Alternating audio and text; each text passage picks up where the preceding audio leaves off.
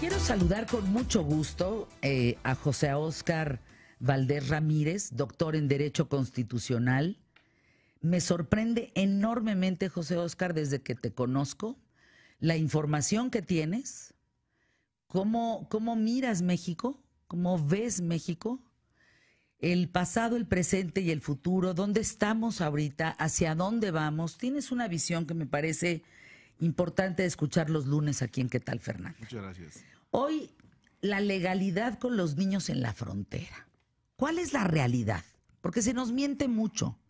Dicen que si van a regresar algunos, que si otros ya los juntaron con sus familias, que eso no es cierto, que otros están siendo maltratados, están siendo golpeados, en fin. ¿Dónde estamos parados y cuál es el verdadero tema de legalidad en ellos? Mira, el problema que tenemos aquí es el siguiente.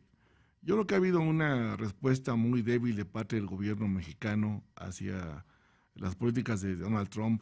Y en este caso recordemos que ya un juez le dio un tiempo máximo de unos días para que juntara a las familias con los niños. El problema es que cuando se los llevaron no hubo ningún censo de dónde los sacaron. Y hoy por hoy están extraviados. ¿Qué significa esto? Que van a tener que hacer muestras de ADN para ver quiénes son sus papás. ¿Por qué? Porque muchas, eh, la, eh, la policía eh, de migración se llevó a los niños a un lado y a los papás a otro, algunos los puso en prisión, y a los niños se los llevaba a un albergue y luego de ahí los cambiaban para otro, y no hubo ningún registro de quiénes eran sus papás. Primero, pues si tenemos el problema que son inmigrantes, pero no estaban registrados con su nombre. Otros, los niños eran muy pequeños y no sabían realmente, o les mentían al papá para que no tuvieran problemas con la escuela, o daban un nombre que no era. Entonces los niños, los datos que dan de la, pues son, son muy, muy vagos y ahora resulta que van a pedir una prórroga porque van a empezar a hacer estudios de ADN para poder pues ver dónde están los padres porque en este momento están extraviados. Ahora, se supo de uno de ellos, una de ellas que pudo volver porque se acordaba del teléfono de una tía. y entonces se pudieron poner en comunicación. El resto no sabemos de dónde vienen, tampoco sabemos a dónde van. No. O sea, el problema, el problema ya para Estados Unidos, eh, digo, ya se vuelve un, problema real y también eh, eh, de esto inclusive su propio partido pues ha estado en contra ya de las políticas de Donald Trump que le empezaron a dejar solo cuando empezó a hacer este tipo de políticas separar a las familias. Ahora bien, el problema que tenemos ahorita pues ya es que el gobierno mexicano debería también de ayudar y yo siempre he comentado que igual Centroamérica y Sudamérica tienen que unirse para ver realmente qué va a hacer con estos niños, porque el problema que tenemos es que ahora no saben quiénes son sus padres. Y el problema es que la gente que tuvieron, pues algunos están en prisión, recordemos que es un delito grave, es entrar al Estados Unidos sin visa, y están en prisión, entonces no van a poder eh, permitirles salir, tenían que ver las pruebas, quién las va a pagar, las pruebas de ADN para poder ver si son o no son sus hijos, y mucha gente está dando nombres, otros, otros niños no saben nada, entonces ha habido una total desinformación, y eso es lo que pasa por hacer una política que no fue ordenada. No les costaba nada a ellos ver a los padres quiénes eran con documentos, pero se los llevaron. O sea, la brava. Y entonces en este momento traes, una, traes a más de 1.500 niños pues que no saben quiénes son sus papás y estás esperando que lleguen pruebas de ADN para poder comprobar si son o no son sus padres. Pero, a ver, el procedimiento de una prueba de ADN, que te hacen la prueba? Bueno, el costo que eso representa para el gobierno. Pero luego, ¿qué? O sea, pues, ¿publicas eso? Porque el papá tampoco sabe su ADN, es decir, tendrías que hacerle pruebas. A la mamá y al papá. A la mamá, al papá y al niño para saber que eso es compatible. Para es compatible. O sea, si le haces pruebas a los niños, eso no es suficiente, Oscar Valdés. No, y aparte de eso, aquí el problema que estamos viendo, yo creo que por eso Trump se retiró de, de, Naciones Unidas. ¿Por qué? Porque se vea que podía afectar algún protocolo internacional. Los derechos del niño, del menor, pues están restringidos en todo momento. Yo creo que estamos enfrentando o está enfrentando, está abriendo un boquete en Estados Unidos que no lo tenían, que es una, un programa migratorio eh, pues bastante, bastante delicado. Yo creo que esto le va a quitar bastantes votos en las intermedias a Trump y el gobierno mexicano debe ser un poco más enérgico en ese sentido. Porque realmente únicamente lo que el gobierno hemos escuchado es que dice que está yendo a consulados, pero no sabemos realmente cuántos niños son mexicanos, en dónde están, qué consulados han ido, y, no han dado a conocer nada, o sea, solamente dicen que lo están haciendo. Pero realmente, pues, digo, por Twitter el mundo no se arregla, ¿no? El gobierno mexicano tendría que ya que estar en este momento con sus cónsules, viendo exactamente en dónde están esos niños, quiénes son esos niños, y tratar también a través de los consulados, pues empezar a hacer alguna información, usar las redes sociales para que ubiquen a los niños. De eso no se ha hecho, ¿eh? Yo no he visto ninguna campaña en redes sociales ni de Estados Unidos ni de México para ubicar a los niños. No la hay.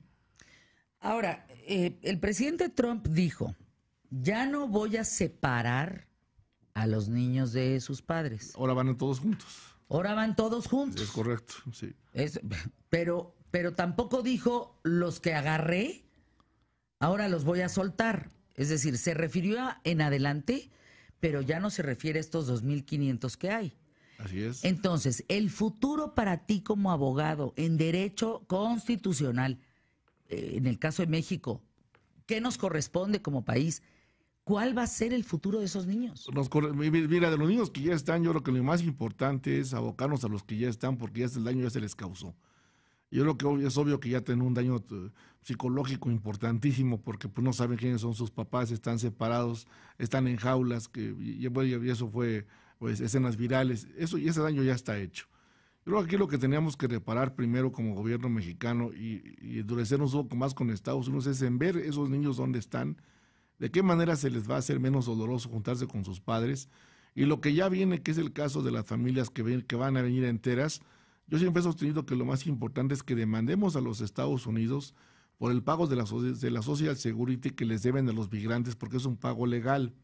Ese pago se trae desde la época del Cielo La Bastida. Te explico rápidamente. A ver, por favor. En la época del Cielo La Bastida se había propuesto que Estados Unidos, eh, si tú vas a Estados Unidos, te dan ocho números de la Social Security y tú los inventas los pues, das los que tú quieres y automáticamente con esos números los dan de alta y empiezan a pagar al seguro social. El patrón te descuenta, pero como ese número, pues es, es, un número eh, que existe, pero no puedes tomar ningún servicio, no tienen servicios de nada, ni de salud, ni de vivienda, de nada. Es falso. Es falso, pero es falso nada porque existe, pero, es, pero no es falso, falso porque te empiezan a cobrar. Y estamos haciendo cuentas que una persona, un migrante normal que gana un sueldo mínimo de 8 dólares la hora por 10 años, trae más o menos de cotizaciones que ha pagado 185 mil dólares por 10 años. Hay migrantes que tienen 30 años, entonces nosotros lo que pedíamos, y se lo pedíamos a Casilla Villarreal, pero no lo quiso hacer, era que demandáramos a los norteamericanos, al norteamericano, para que nos regresara a la gente que van a devolver, pero con el dinero que han aportado. Y entonces hablaríamos de que un mexicano que estuviera 30 años trabajando en Estados Unidos tenía que darle casi 445 mil dólares aproximadamente para regresarse. Y ahora sí, regrésamelo, pero dale, su cheque, no te preocupes. Y de esa manera, ah. eh, ¿por qué? Porque el pago es legal. Pues el gobierno mexicano no quiso porque dice que cómo se va a pelear con Estados Unidos. No, es que te pelees, es que le estás exigiendo un pago que se hace legalmente, que hacen los mexicanos, que han salvado el sistema social de Estados Unidos de los últimos 40 años y no tienen ningún servicio. Y entonces, si es justo que me los vas a regresar porque son ilegales, para ti son ilegales solo, solamente cuando tú los detienes, pero cuando te pagan no son ilegales, porque tú estás cobrando ese dinero y no estás dando ninguna contraprestación. Entonces es obvio, hecho internacional, que merece ese dinero. Y se había planteado con Videgaray y lo planteamos con Eddie Barón, que demandáramos en la Corte Norteamericanas y pues para... Y que es viable además. Es porque es viable que ese, dinero, ese dinero ya, ya se había hecho en una ocasión, si ustedes recuerdan cuando fue el famoso salario de los migrantes de California de la fresa, que se revolvieron dinero casi, que el gobierno se clavó en su tiempo y tardó en devolverlo 10 años, pero se lo regresó. Aquí lo calamos en una cantidad que, oscilaba entre los 85 mil a los 124 mil millones de dólares. ¿Qué? Es, la cantidad que han generado los migrantes en más de 20 años. Y que tendrían que devolverse. devolvérselas porque se la han pagado. Que se a sus es correcto. Y de hecho es lo que estamos pidiendo, que se hicieran demandas internacionales de gobierno a gobierno para pedir a Donald Trump que regresara a las familias con ese dinero. En Estados Unidos tal vez con cuatro millones y medio no haces nada, pero en México es un capital. Aquí puedes llegar con una buena casa, con un, con un, con un carro, con un negocio. Entonces les pedíamos que, que demandáramos al gobierno norteamericano por las cuotas que le han estado cobrando estos migrantes, que se han quedado con ese dinero ilegalmente, y bueno, que yo creo que si los vas a regresar, les devuelvas ese dinero, porque ese dinero se lo pagaron al gobierno norteamericano. El gobierno norteamericano lo tiene en sus arcas. ¿Y el gobierno de México te dijo no? No, no, que porque iban a, que la relación con Trump era por su, por el yerno, que no querían lesionar la relación con Trump, que iba muy bien, y pues hasta la fecha vemos que también ha visto, que digo, más eh, vapuleas que nos ha puesto Trump no se ha podido. Entonces lo que pedíamos era que lo demandáramos en las cortes norteamericanas y le exigiéramos este dinero que desde la época de la Bastida, cuando Eddie Barón fue diputado federal, sacó eh, la colación de decir, nos tienen que regresar este dinero porque son aportaciones legales que se han hecho al Social Security en Estados Unidos y que Estados Unidos las cobra y cuando te cobra se vuelven legales y se queda con ese dinero y no te las puede regresar o no te las quieres regresar. Y hasta ahí quedó el tema. Ya hasta ahí quedó el tema, entonces eso es lo que queremos impulsar en esta ocasión y que queremos ver a, este, a Marcelo Ebrard para llevarle el proyecto y decirle, oye, ¿por qué no demandas a los norteamericanos que devuelvan ese dinero para los migrantes? ¿Qué lo podría hacer a partir del primero, de, diciembre? De, diciembre? ¿Por qué? Porque en ese momento, ¿qué es lo que pasaría? Tal vez no te regresen dinero, pero sí logras un acuerdo político. Porque no creo que Estados Unidos tenga mañana un cheque de 85 mil millones de dólares para que te lo revuelva, ¿verdad? No, seguramente no, pero, entonces llegas, a, una, negociación que yo creo esa negociación mucho más viable a que estés esperando y de agachón a ver qué es lo que puede pasar. Si le estás pidiendo, a ver, si tú me estás cobrando este dinero de mis migrantes y gracias a este de los migrantes se ha salvado eh, tu, tu seguridad social en Estados Unidos y tienes ese dinero en tus arcas y no me quieres regresar nada, y ahora resulta cuando me quieres regresar me dices que están ilegales, por qué cuando les cobran no son ilegales. Porque tú sabes perfectamente que le estás pagando un número de asistencia social que no tiene ninguna contraprestación. Entonces tú lo vuelves legal. Y ese, es el argumento total que, que, que, queríamos hacer en la Corte en Estados Unidos, decirle, señoría, ¿cómo es posible que si está esta gente pagando y el gobierno está reteniendo, en ese momento se vuelve legal, tan así que el dinero, el dinero lo tienen ellos? Y resulta ahora que ya que los quiere regresar, me dice que son ilegales, cuando él ya les cobró. Y gracias a eso, en 40 años se ha salvado el sistema de los norteamericanos, porque no lo usan. Te pregunta, nos tenemos que ir a pausa y más adelante contigo, eh, Oscar, pero Edgar Iván Contreras, ¿cómo le hago para tener una asesoría con este abogado que está hablando? Edgar, es que es una joya este abogado. De verdad, Oscar Valdés. Bueno, hay un grupo, hay un movimiento en México, así te la pongo, donde está Vanessa Bauche, donde estoy yo, estamos mucha gente, que eso lo vamos a platicar más adelante, porque necesitamos un fiscal autónomo en México que no tenga intereses de ningún partido para que pueda atacar, de ser necesario, a quien sea para mandarlo al bote por corrupto. Y que no sea un fiscal a modo. Y somos un grupo fuerte en redes. Estaban, no, no saben la cantidad de gente que queremos que este hombre que estás escuchando represente a los mexicanos como fiscal autónomo. Porque este sí se puede meter y decirle al trompudo, oiga, usted me debe tanto, ¿eh? Y él no tiene ningún interés político de quedar bien con nadie, pues más que con los mexicanos. Pero bueno, él te puede asesorar.